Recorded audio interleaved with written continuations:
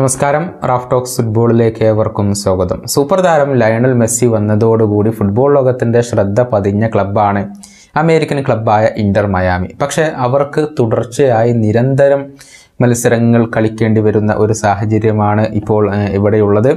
അതായത് അവസാനത്തെ എഴുപത്തി മൂന്ന് ദിവസത്തിനിടെ പതിനേഴ് മത്സരങ്ങൾ അവരിപ്പോൾ കളിച്ചു കഴിഞ്ഞു.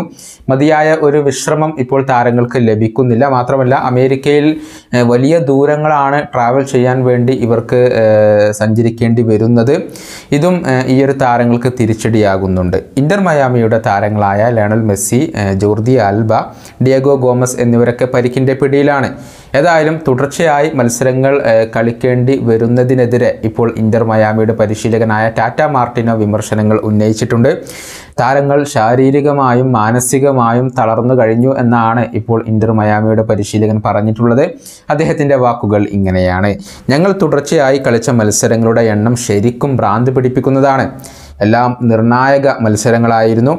അത് ശാരീരികമായും മാനസികമായും എന്റെ താരങ്ങളെ തളർത്തിക്കളഞ്ഞിട്ടുണ്ട്. ഞങ്ങളുടെ പ്രധാനപ്പെട്ട താരങ്ങൾ ഇല്ലാതെയാണ് ഞങ്ങളിപ്പോൾ ഫൈറ്റ് ചെയ്യുന്നത്.